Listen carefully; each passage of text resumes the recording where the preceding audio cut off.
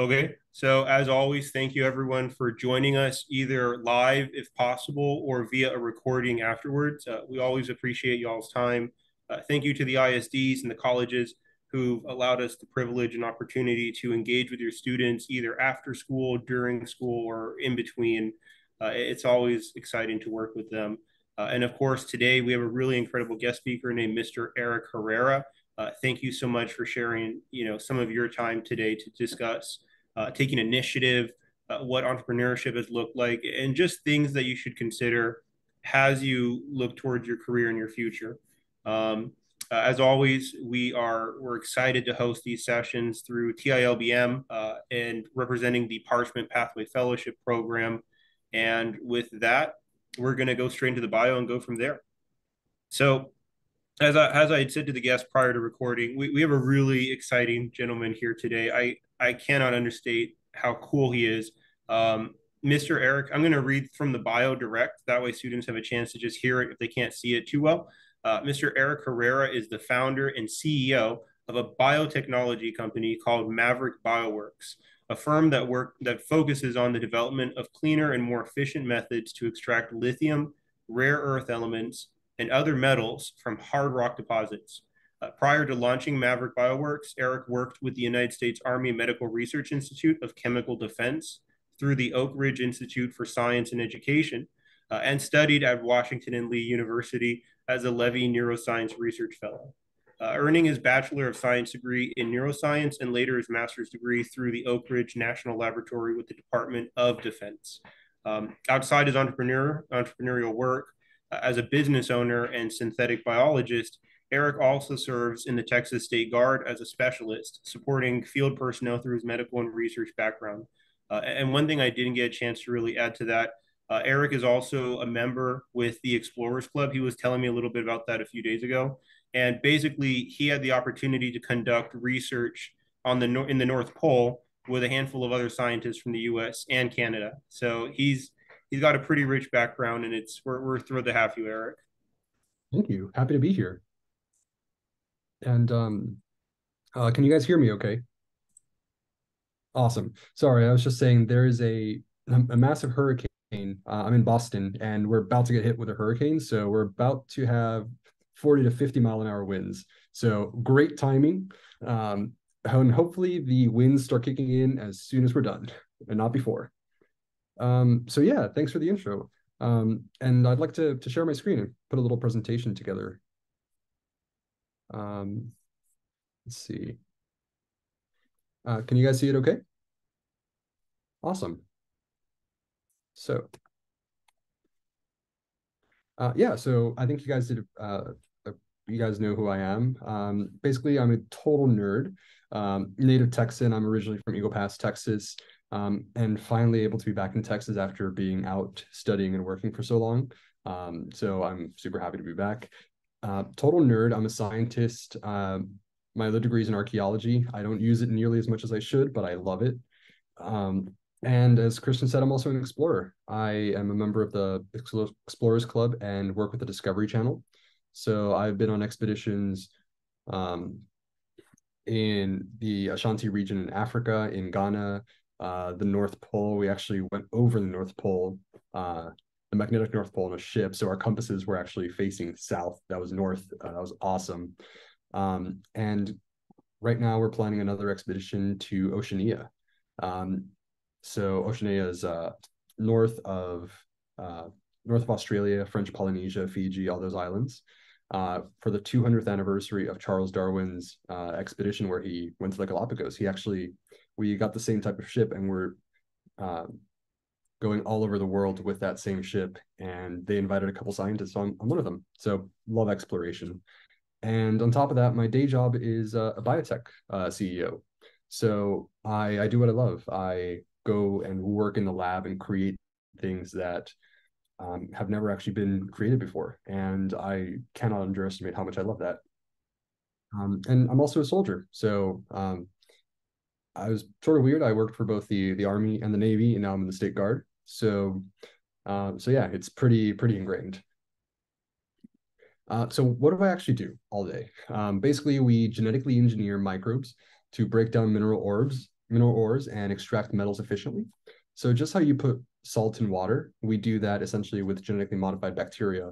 You can get a really hard stone like granite, put it in the bacteria in water, and it just completely dissolves. Um, so it extracts all of the um, metals as efficiently as possible. And right now, it's super complicated the way they use it, super bad for the environment. Um, you actually have to heat them up in essentially a jet engine. It actually gets hotter than jet engine. It expands the crystal structure, and that leaves you with a little bit of metal and a lot of waste. So we genetically modified enzymes to break apart the crystal structure by replacing um, essentially one silica atom with a water atom. So it's a, a pretty efficient process. And it's not new, but it sucks the way they've traditionally done it. Um, 30% of copper, 15% of gold is already extracted with microbes, um, but it sucks. So four to five years, super expensive and not widely applicable, but the science is amazing. Uh, this picture is actually a picture of an experiment that our lab did. Uh, this is on the International Space Station. So the the bright green is actually bacteria that's inside of a rock. Um, and it's slowly eating away at it. But how can we make it better? So this this was a a granite type of, of rock, and the bacteria is slowly eating away at it millimeter, millimeter a day, which is actually a lot compared to, to what happens in nature. But we were looking instead of days and weeks, can we bring it down to hours? So that's what I do in the lab. And I do that by traveling to the weirdest places on Earth. Um, extremophiles, they're called the bacteria that grow in these areas. So this is Yellowstone. Um, finding those bacteria, finding those life forms. Sometimes they're not even bacteria. Um, genetically profiling them, so taking the DNA out of the cells, sequencing it, and essentially using a supercomputer to tell us what this gene is, what it does, and how can we modify it to work for us, and essentially bring down costs of producing batteries, costs of producing wind turbines, um, and that's what I do all day. So, how did I go from chemical weapons to uh, to essentially bacteria to dissolve rocks? Well, I, I as uh, Christian said, I used to work for the army. Um, if you guys have seen Oppenheimer, the movie, uh, where they built the the atomic bomb, uh, that was my lab. Uh, so we did, we did a lot of weird, dangerous science, which is super cool. Um, and this is actually what chemical weapons look like. Um, that's a, a US penny, a regular penny. The last one is a lethal dose of, of chlorine. So that is to scale the amount that would kill a person. So we have to be very, very careful with how we handle them. And my job specifically was how can we break them down? How, how can we completely destroy them so that we can make them, um, you know, safe or a place that has been exposed to these location uh, to these poisons, how can we make that habitable again? And this is actually what it looks like. That's the chemical structure. Um, VX is one of the most toxic ones, toxic compounds ever created. Um, and the the structure of the it's an organic phos organophosphate. The phosphate essentially has four different groups coming out of it. Um, so one day I was just partying with friends in Washington D.C. Um, you know, hopping around bars, so that always helps. And I thought, well, we're already breaking this down with certain bacteria, certain enzymes that we're engineering in the lab. Can't we just engineer another one to break down silicates who have the exact same crystal structure, a central atom surrounded by four different atoms? And thought that was a cool idea. But wanted to see is anyone else doing something similar? No, um, no one was doing anything like that. And I think that's not only how good science starts, but how good businesses start. So I decided to start a business. Um, this was my first lab in in 2021. Uh, it was still during the pandemic, so I had unfortunately way too much free time, and I decided why not? Let's start a lab. Let's start a business. Let's start a lab. Let's do cutting edge science even with limited funds. Um, so I, you know, scraped some money together and not the best looking lab, but lots and lots of science got done here. This is where it all started. And I loved it. I could not have been happier than working in that lab. Um, spent way too much time there though. Um, but ultimately it paid off. So that was in 2021. This is now. Um, we were able to buy a 10,000 square foot facility, uh, BSL One Labs. We have an army of scientists, engineers, geologists, all working together, and it's awesome. This was in about two and a half years, so it's we've been incredibly lucky to grow as, as fast as possible, and I we definitely got lucky, but it's not impossible. And that's sort of what I want to show you guys that you can do this. You can take the risk and do something just awesome. Um, so lots of things happened in between. Um, we got into this incubator. Um, incubators, what they do is they help essentially, you have a great idea, let's turn it into a business. And they teach you how to actually run a business. I'm a scientist. I I don't know how to do payroll. I don't know what goes into running HR. I don't know financial instruments that investors use. So that is something they taught me, and I I'm super grateful for that opportunity. Um, and it's something that I very much um, need now in my day job. Um, but other things happened. Um, so I risked it all. I, I quit my job with the military. Um, I gave up my my Army commission and my Navy commission, um, which meant I also had to give up medical school. So I I gave up medical school. I dropped out uh, with a full scholarship. Um, the hardest part was not telling the medical school. It was not telling the DoD. It was telling my parents that I had dropped out of medical school with a full scholarship. they didn't take it the best way, but I, I was taking a risk on myself. Um, so I moved out to Silicon Valley, um, established the first, uh, the second lab there, and decided, yeah, this is 100% what I wanted to do. Um, you also get imposter syndrome. Um, I was there talking with the investors, and I'm seeing PhD from MIT, um, Harvard Business School, Yale, uh, worked in the best labs in the world, to manage. I think one of them in just one account that they invest in was $12 billion. And they were analyzing whether they invest in me, not in my company, but in you as a person. I'm 20, 24 at this point. Um, I'm 25 now. Am I worth getting an investment that much? Am I worth like the millions that they're going to give me? No. Um, like, what the hell is happening? Um, everyone has that.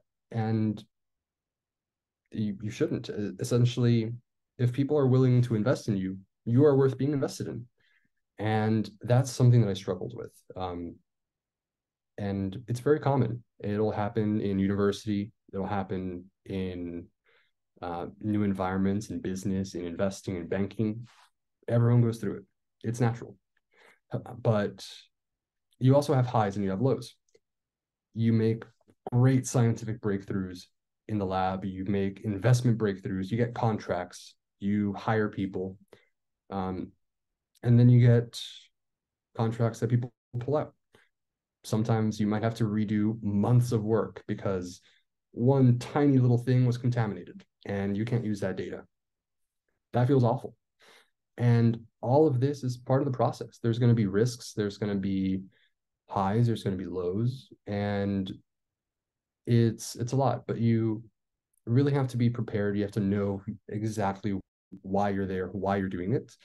Um, and that's not just business, that's business, that's college, that's that's life. And I think that's something that I really should have been uh, something that's super important. And I would have loved someone to tell me when I was your age. So why did I do it? Um, as a little kid, I, I, used to love Jimmy Neutron and Dexter's Laboratory.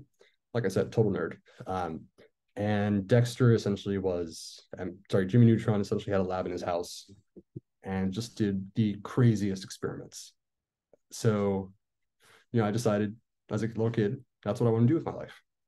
I want to build my own lab and have amazing experiments, um, you know, make gel come to life, make um, artificial networks of supercomputers that can design genetic molecules, um, make life that hasn't been seen on Earth before. And that's what I'm doing. I was able to accomplish that goal. And that was really the, the, the driving force. I I knew what I wanted. And I said, well, F it. What do I have to lose? Let's try it. So, what advice would I give my younger self? If there's anything you take from this um, presentation, um, Socrates was a, a philosopher in Greece, so a couple thousand years ago. So if people are still sharing his advice, you know it's good. Um, know thyself. Really get to know yourself. What are you good at? What are you bad at? What are you comfortable with yourself? What are you uncomfortable with yourself? What can you get better at? What do you need to change? All of that, you are stuck with yourself your entire life. You really have to understand who you are, what your motivations are, what drives you, and what you need help on. That is probably the single best piece of advice anyone's ever given me. And I really think it's super useful in absolutely every capacity. I also like quotes just because you can remember them super simply. Next one. Um, invest in yourself to the point that it makes sense for someone else to invest in you. You are in business specifically and, and science, you really have to present not just the process, not just the the science, the invention, the the product. It's a presentation of who you are as a person. You don't want to do business with someone you don't like. You don't want to do business with someone you don't trust. You don't want to do, as bad as it sounds, business with someone you think is uneducated. So you really have to invest in yourself and show the world why you're worth it and show yourself why you're worth it. If at any reason it you shouldn't do it for other people, you should really do it for you. You should know that you are investing in yourself no matter what happens. You are now better than you were before as as a person on the inside. And that feels good. Honestly, other people will start to notice and you know that is probably the most important thing other than knowing yourself and this can take a lot of ways this can be um, in my personal uh, opinion it's probably education is number one. Strive for education 100% make sure you you do what you love but you study what you love. You go to the best university you can. You become a total nerd for what you love. And it doesn't have to be science. It could be literally anything. Just as long as you do what you love and get really really good at it then it's not work then it's literally passion. And that really changes the calculus of um, you know of how you live your life. And that's i think that's really beautiful and really powerful. So yeah invest in yourself. That is the number two piece of advice. And number three, future awaits those who have the courage to create it. Um, so I'm in Boston right now, um, looking up science, looking up scientists, um, trying to convince them to come back to Texas to work with us. And uh, Harvard was the dean of Harvard during one of the uh, what do you call it commencement ceremonies, which is graduation, um, was famous for saying, "Our graduates can get any job in any, any industry they, they want to. The, the graduation ceremony for MIT was a few days later. And the president of that university said, our graduate, our graduates don't find any job they want in industry. They create new industries. And that is awesome. That is where I think everyone should be, not just people go to MIT, Harvard, um, the biggest schools with the most money, um, best connections. Anyone is able to do that. If you aren't comfortable with your options, create new options. Um, you're literally limited with your imagination. And I think that's beautiful. That's awesome. So there's also precedence for it. Um, for example, the actually the richest man on arguably the richest man in history, uh, John D. Rockefeller, invented a whole new industry he invented oil refineries. Those didn't exist before he came along.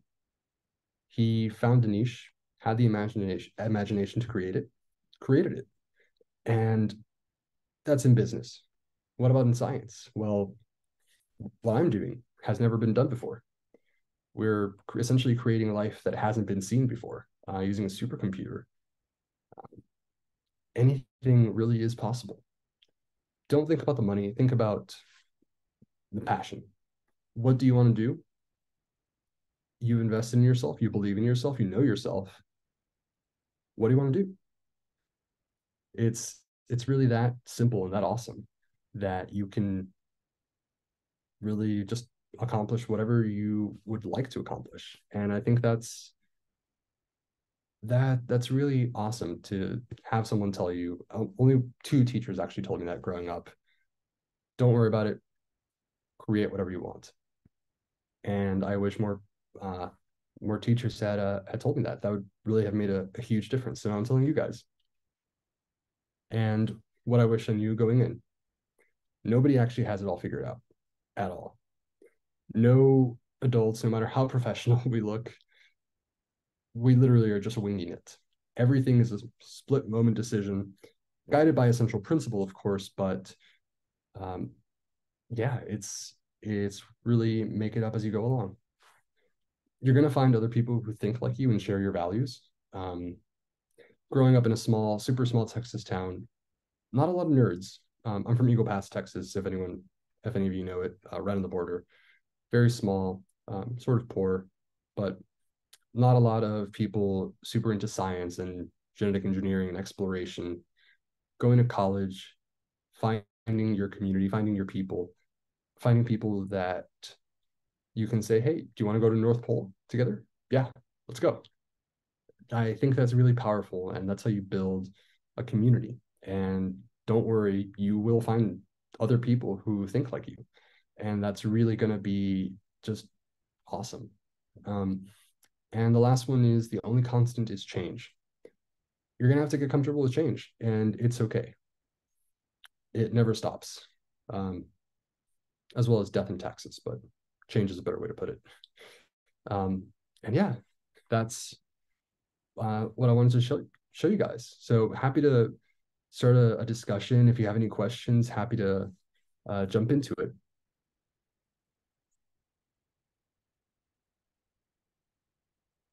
thank you again, by the way, for that. That was that was such a. I mean, as always, I'm inspired just by being in the room and what you shared. It it gives me a lot to reflect on. Uh, so I appreciate that. For for our classes, if you have the ability to turn on a mic, feel free to ask your question via mic. Uh, if it's more convenient, definitely put it in the chat. Um, and while the students are kind of you know getting their questions figured out uh, with their respective faculty and staff, uh, I'm just, I just want to reaffirm what Eric said. Like building your future, it doesn't have to be an, ex- an expensive endeavor. Um, if you're a middle schooler or high schooler and you want to be, I don't know, an engineer or a computer science business tech guy, you can start with baby steps. You know, if you're good at some software, why not go to the local senior center with your your dad or your mom or a friend or a teacher, and then just offer your services there. You know, it's small, but it gets the ball rolling. All right. So one of our questions that we just got in was, were there any specific biologists that inspired your journey? Uh, yeah, and actually, just to go off what uh, Christian was saying, yes, it does. It there are way more opportunities now than there were when when Christian and I were growing up. And I, I say this as we're old, we're only twenty five, um, but definitely go online, find education courses, find free courses, um, conferences. A lot of people don't realize conferences can be uh, subsidized. So they will actually pay for you if you're in high school to go to biotech conferences, to go to engineering conferences, to meet these people. And meeting those people who share your same interests, and if you can get it paid for. Um, if you're interested in bio, I know lots of great conferences that will do that. Um, but anything can be done that way. Uh, so definitely don't worry about the money. There is, are very large companies that will actually pay pay you to to come meet them and to do work with them. Um, but yes, specific biologists who inspired my journey. Uh, Dr. Jonas Salk, he invented the polio vaccine. Um, he was super. There really wasn't um, an efficient vaccine before it. So, polio was a super horrible disease that affected only children. Um, and it caused uh, infantile paralysis. And he was basically told it's not not going to work. You're doing it completely the wrong way. But he worked on it for years and um, eventually got it done. But he needed to test it out on people. He didn't have permission, so he tested it on on himself first. He was so sure that he tested it and proved his hypothesis on himself. And after that, he tested on his children. Um, he was so sure that he was able to essentially risk his own life and risk his children's life. And those children were the first to be immunized for polio. Um, and then the hard choice came. Every country on earth that can pay for it is going to want to pay for it. Do you patent it? And they asked him that, and he said, No. Can you patent the sun? Should you patent the sun? So he patented and sold it for $1. So every country on earth could develop polio vaccines essentially for free. And I think that's really inspirational. All that work, he could have made billions of dollars, but he chose to help people. So I think that's uh, it's inspirational. And what kept you going at your lowest? The fact that I knew that um, that lows pass. It's never going to be super low all the time. Something will always change. Change is constant. If you are at your lowest, it can only get better. Um, and it has to get better. It will. But seeing that light at the end of the tunnel, that nice, shiny lab to do your own science, to do your own research, uh, has always been my dream not just going to give up because I'm at my lowest. It will change. It will get better. Um, and that was the source of my inspiration, just passionate, doing something that I love. And I know that I'm gonna have to raise money. I know that I'm gonna have to do don't do this. I spent like three days, like literal three days, 24 hours in the lab. Uh, lab smelled weird. Had my coffee delivered. Um, but that was probably my lowest point. Getting those data points for the investors, showing yes, this is real science, this is real, legitimate biotech. You should trust a 24 year old. Um, that was a hard sell, but it was a sell that was able to do. So that's what kept me going. Um, have you ever questioned how smart you really are? Yeah, totally. Um, so um, I failed chemistry in college completely failed it. I was, I think my unweighted average in high school was like a 99.98. So high school is easy. College is hard, and it should be. College is where you're told you're not as smart as you are. And if you don't come out thinking like that, you should have gone to a better college, one that should uh, challenge who you are. And yes, 100%. I flunked that class, like not a D, an F. and the professor just said, like, well, learn it for next time. Uh, so I did. And I got really good at chemistry. And now I'm engineering chemistry with biology. But there's always going to be another chemistry class. There's always going to be another physics class. There's always going to be something that I have no idea what's happening. And it's an opportunity to learn and that's also really fun. Um, you can't know everything. You're never going to be good at everything. Choose one thing you're good at, um, and sort of appreciate that you will not be good at everything. Um, it sucks, but it's the reality. Uh, it's 14. So, as a 14 year old, the way you can think of your career and life plan um, number one, know yourself what do you want to do? What drives you? What interests you? If you had to spend four days just doing one thing, what would it be? If you had to spend a lifetime doing one thing, what would it be? And remember, it's totally okay to change. I was going to study medicine and then have a medical research laboratory. Um, it's no longer a medical research laboratory. Uh, now it's a biotech laboratory, but you can always change, but have a really good idea of what you want, what you care about what you're passionate about and start finding how you can get involved. Um, so in high school, I was doing research with University of Texas, uh, the Jackson School of Geoscience. Um, we were going on expeditions. Um, we did Florida, Arizona, West Virginia, and the Cascadia Mountain Range in Oregon. So I found them and loved that.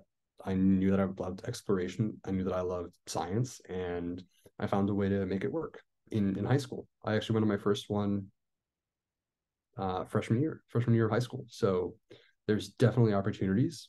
Seek them out in absolutely whatever. If it's art, great. If it's science, awesome. Um, if it's business, definitely.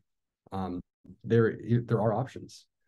Uh, did you ever s- struggle with procrastination? Yes, everyone does. Um, but I think it's just that discipline of you guys should see what my calendar looks like right now. It's actually let me show you guys. Um,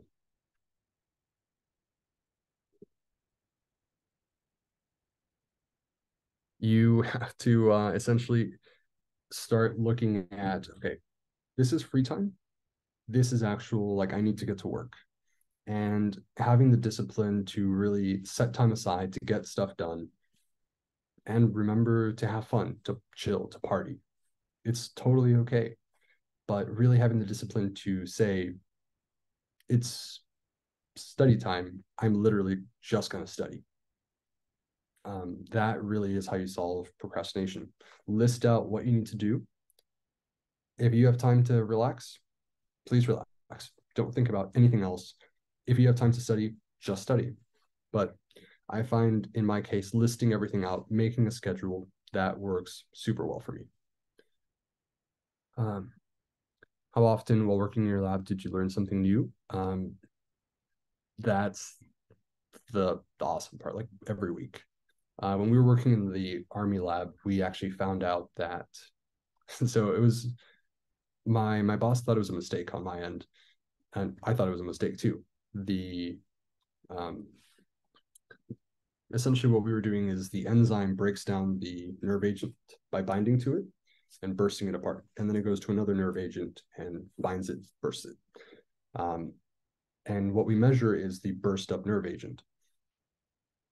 The, the nerve agent, the degraded nerve agent was much, much higher than it should have been, like about 10,000 times higher. Um, so she thought, no, you just added more. Uh, simple mistake. Don't worry about it. Re- redo the experiment. I redid it. Same exact um, result. She gives it to another student. Same result. She's pissed off. She does it. Same result. Um, it took about three weeks to get into the lab, and then we found out the only explanation is quantum mechanics. So uh, quantum mechanics is mechanics that can't be explained using classical chemistry or classical physics. And we think what happened was it bound to it and then it went through the actual matter.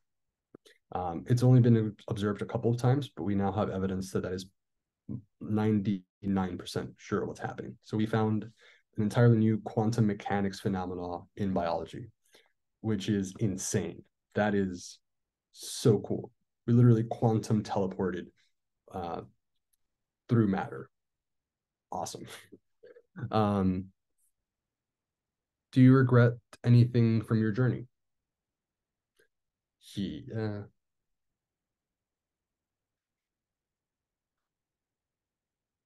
Yeah. Uh, like I said, total nerd. I should have partied more. It's absolutely necessary to relax, to have a good time.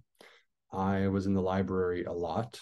Um, I don't regret being in the library. I regret not going out with friends so much. Not uh, I you know I was in college. I was in a fraternity. It was fun. We had parties a lot, but I think really prioritizing that as well. Prioritizing your own happiness, mental health, relaxation is super super important. Just how you should make time for uh, for studying, you have to make time for yourself, and that's equally important. So I'd say that is probably my biggest regret in the last couple of years. But regrets are, well, you can't really do anything with them. You can only learn from them. Shouldn't happen again, but yeah, it's basically it. Just learn from your regrets. Uh, any other questions?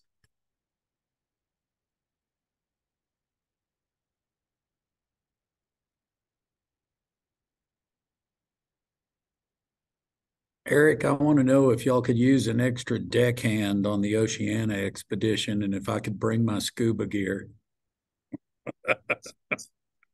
um, we are using deep sea rovers. Um, some of the uh, some of the uh, bacteria that we're gathering are extremophiles from deep sea thermal vents. Thermal vents, yeah. So it's about 200 degrees C uh, down by there, and all covered in toxic uh, gas. Not so, where I want to dive. No, uh, unfortunately, I'm thinking more Galapagos. so unfortunately, I was I, that's the one I asked for, um, but I wasn't chosen. So uh, they're taking different scientists to different legs of the expedition, and I mean I can't say I got unlucky, but I got sent to the French Polynesia, so not not bad at all. Um, have you ever questioned your passion? Yes, but not in the do I like science? Do I like being in a lab? No, it's more. I also love venture capital. I love the ecosystem of investors seeing the newest technology, deciding, yes, this is awesome, or this probably won't work. Um, do I give up a little bit of science to go time on this? That's really how i've questioned it. Do i have expanded interests and um you know questioning is is normal is normal. But i decided i am interested in, in venture capital but i'm more interested in science and one thing has to get done first before i split time into more things um, which is actually same thing as procrastination um, divided attention is procrastination and it doesn't really work out super well uh, when you're doing something something complicated, something that needs your full undivided attention. Um, how often do you get vacation days? uh, not much. So, um, that's part of the reason I like exploration so much. There was um, we were working around 14 hour days, seven days a week in, in Silicon Valley, uh, talking with investors in the lab, just getting everything together. And then that's when I went to the North Pole.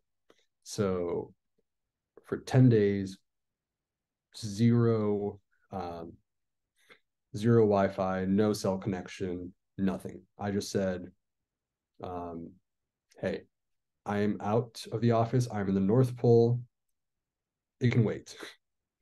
And I think it's absolutely necessary to take one of those vacations just like once a year. Like whatever's happening, it can wait 10 days, it can wait seven days.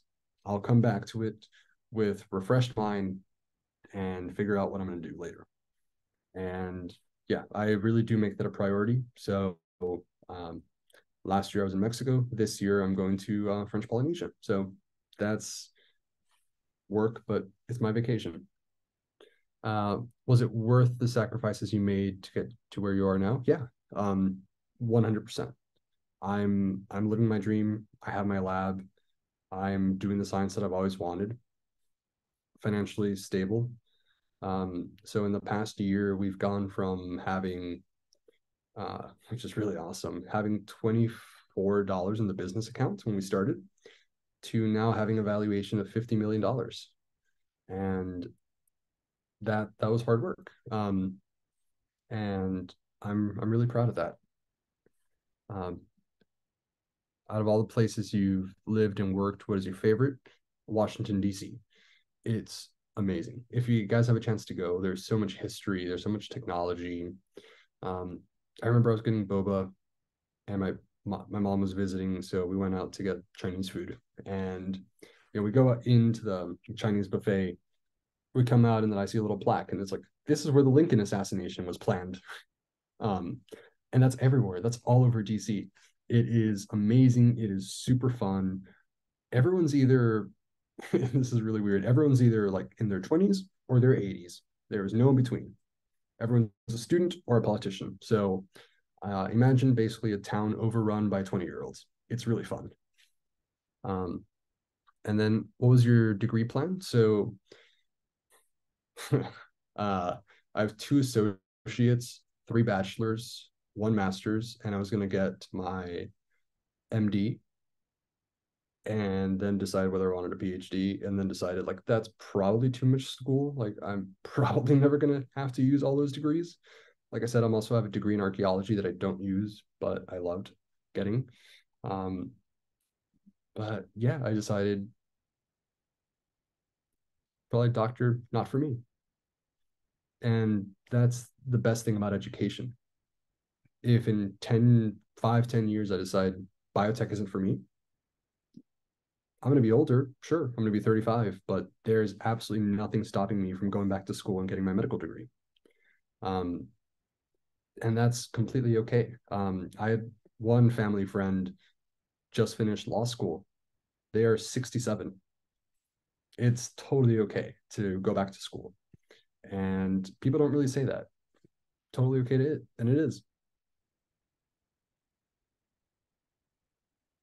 So we have one last question, and then we're going to start phasing it out. Um, well, give me a sec. We have actually two, but I'm only going to flag one. Uh, give me a sec. I'm looking at which one. I'm going to go with the one that's more science related. Um, and then we can kind of start phasing out. So the freshman, and this is from uh, Kraus, the freshmen just learned what enzymes are yesterday. If you have any other experience working with enzymes, could you share? Yeah, so all enzymes do are catalyze reactions. And um, a, a, catalyst is not consumed, as you guys know, if you if you pay attention to the lecture, uh, they're not cons consumed in the actual chemical reaction. So they just facilitate a chemical reaction. Um, you can actually engineer them to do whatever you want. And that is the awesome part of biotech. So I have friends who are engineering hydrolases that you know hydrolase they hydrolyze a um, a bond. So mine is a hydrolase. It breaks down rocks. Theirs is a hydrolase that breaks down PET polyethylene terephthalate, which is um, like plastic water bottles, um, and polyester to prevent microplastics. You could engineer them to create um, insulin in novel synthetic pathways. Um, it's essentially if you understand the chemistry, you can understand what you need to change with the enzyme to create it. But you can literally create almost anything you want. Um, so I I have one enzyme that actually absorbs and transports um, uranium. That's never been done before. That's a completely we the the term is new to nature, and it's essentially a little Franken enzyme that we evol- evolved artificially in the lab um, about 9 million iterations over about 10,000 generations developed on a supercomputer. And that would have taken nature hundreds of millions of years to develop, and we developed it in a weekend. Literally just hit, coded it and hit go on a Friday, came in Monday, and they're like, this is the, se- the sequence, this is the DNA. Do you want us to print it? Sure. So, and enzymes, I think, are definitely the future in medicine, in biotech, in industrial tech. And they are super powerful because you can literally code them to do whatever you want. It's almost like computer code.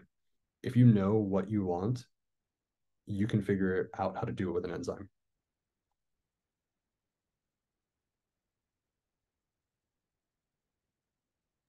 That's awesome. Well, as always, I mean, you know, it's I, I, mean, I'm speechless. Like the content you shared, the wisdom you shared, it, it's incredible.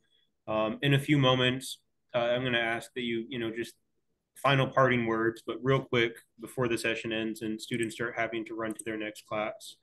Um, for those of y'all who've not watched the recording of our orientation or, you know, are just tied up today and getting still squared away.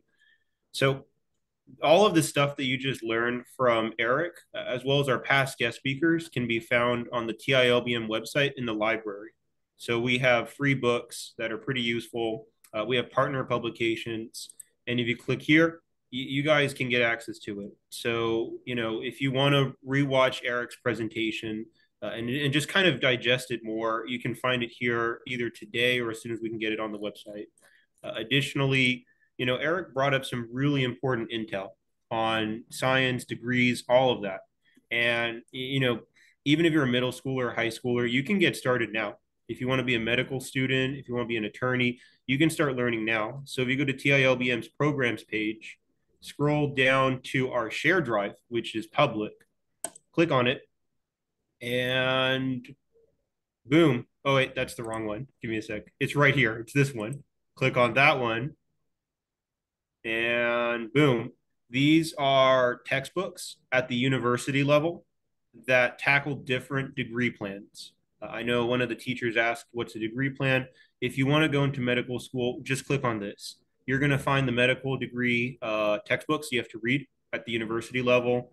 If you want to go to business, uh, we have a great partnership with A&M Commerce, and we have access to their business resources. Uh, if you want to do poli sci, you know, I was a poli sci student, therefore we have a lot of easy access to those resources. And, then again, if if you want a more specific degree plan, just reach out to us, and we can try to find something that matches your goals and objectives. Um, so I'm going to stop sharing that. I'm sorry, say again. Yeah, if you're interested in neuroscience, anthropology, archaeology, hit me up. I can there totally you go, guys. So, I mean, uh, you know, as we wrap up the session, Eric, do you have any like just a last few words of advice? Anything you you feel you want to throw out there before we start kind of close shop? Yeah, I would say just those those two main, just those two words from Socrates. Just know yourself. I think that's probably the best advice I ever got. So sharing it with you guys. Sweet. I, I really appreciate it. We appreciate it. The ISDs appreciate it. Um, the community colleges that we serve, I suspect they're going to really value it when I send them this recording. Um, and you know, it's it's been always it's always a privilege to visit with you. Uh, and for the students, real quick, who might be wondering, how do you find mentors immediately in the immediate present? Um, Eric and I, I ran into Eric by pure chance at, at basic training. You know, I was like, so what are you going to do with the guard? Um, and he's like, well, I'm a neuroscientist. And I'm like, what? What? Because I, I was just starting my EMT program.